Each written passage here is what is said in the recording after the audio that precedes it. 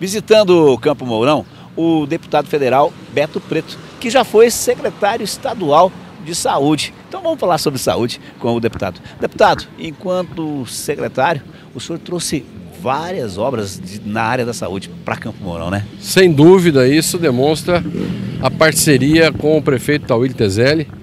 Nós fizemos obras de reforma, de ampliação, novas obras de unidades básicas de saúde.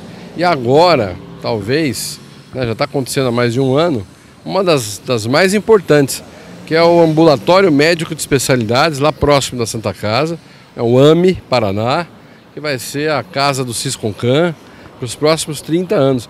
37 consultórios médicos nós temos lá.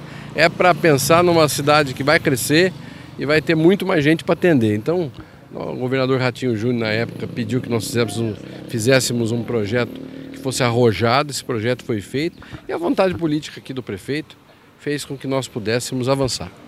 Campo Mourão, é, esta semana, segundo o IBGE, alcançou aí mais de 100 mil habitantes, é, deputado. O senhor que entende de saúde, nós temos uma UPA, estamos aqui inclusive em frente à UPA. Só uma UPA é, dá conta de tantos habitantes?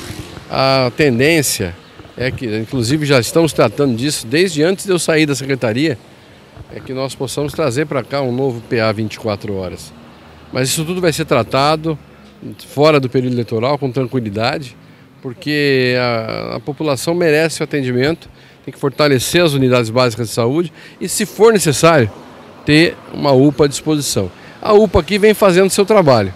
Agora a gente tem que colocar também todos os esforços para melhorar ainda mais o atendimento.